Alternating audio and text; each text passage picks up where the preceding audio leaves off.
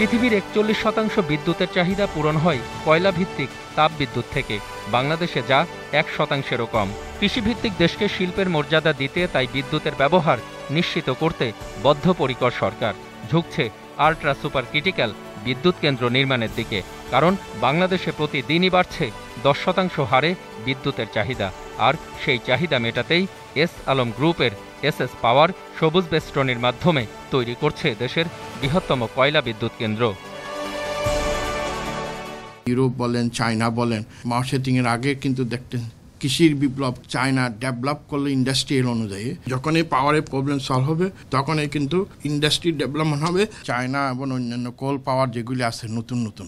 এগুলি কাউ বুঝতেও পারবে না এটা কোল পাওয়ার না other gas turbine ultra super টেকনোলজিতে ব্যবহার হবে কোল সো সেখানে কোনো ছাইও দেখা যাবে না কিছুই দেখা যাবে না। আমরা আশা করছি সময় মতো তারা পাওয়ার প্ল্যান্টটি কমপ্লিট করতে পারবে।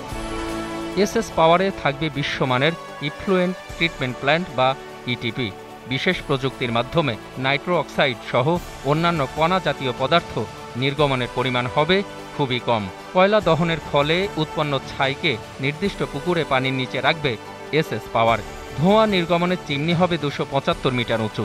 ইলেকট্রোস্ট্যাটিক প্রেসিপেটর বা ইএসপি ব্যবহার করে নিরানব্বই শতাংশেরও বেশি বস্তুকণা অপসারণ করে পরিবেশ সুন্দর রাখবে ultra super critical SS power.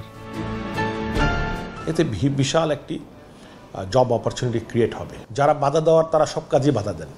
আমরা বাধার মধ্যেই কাজ করতে অভ্যস্ত বড় পুকুরিয়াতে আমাদের একটা কোল প্ল্যান্ট আছে। আমি অনুরোধ করব সবাইকে এখানে গিয়ে দেখার জন্য, যারা এইসব নিয়ে কথা বলছেন, যে ওখানে কি গাছগাছালি ক্ষতি হচ্ছে কি না নিঃশ্বাস নেওয়ার ক্ষতি হচ্ছে কি না জীবজন্তু কি বেঁচে আছে কিনা?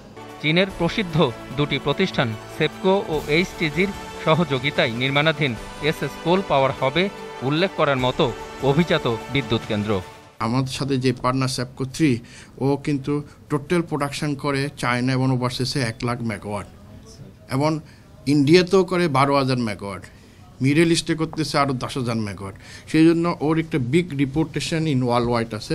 সেই হিসাবে আমরা ওকে চুজ করছি এবং ওরও কোয়ালিটি ভেরি গ্যান্ট এবং অন টাইমে দে উইল ইনশাল্লাহ প্রোডাকশনে আসব।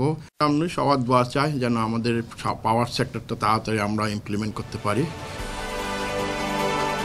অখিল পোদ্দার, একুশে টেলিভিশন, ঢাকা।